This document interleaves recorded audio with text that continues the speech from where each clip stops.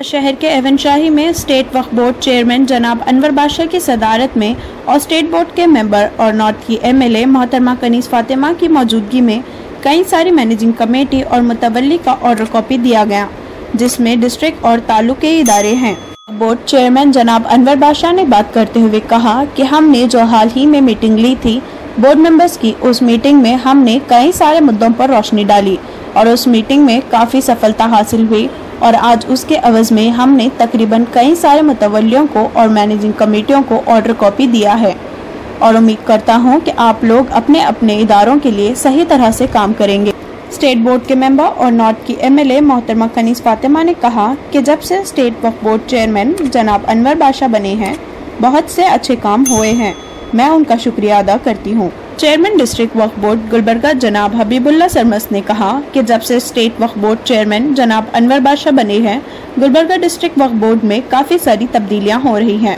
जैसे कि पहले यह होता था कि लोगों को गुलबर्गा से बेंगलुरु जाकर काम कराना पड़ता था, पर अब सारे काम यहीं पर हो रहे हैं और खुद चेयरमैन के हाथों से ऑर्डर कॉपी दिया जा रहा है और जो दलाली के काम गुलबर्गा वक्फ बोर्ड में हो रहे थे, उसको ख़त्म करना है। जो बीच के लोग दलाली कर रहे थे, उनको हटाना है। अब जो भी अवाम का काम है, वो जल्द से जल्द होगा।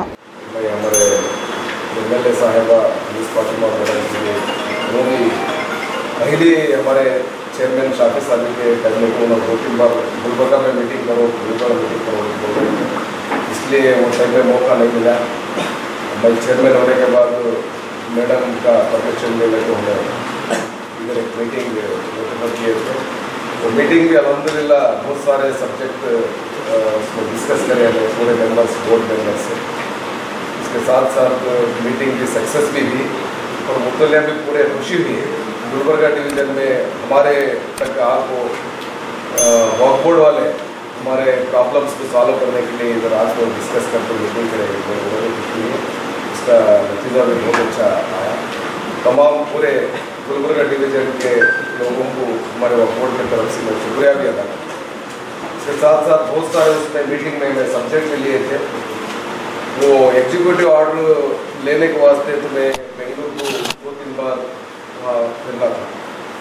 तो केस वर्कर करें और सी ओ मिले तो एक दिन मीटिंग गई वहाँ मीटिंग तो दो चार दिन जब को लेने का रहा था।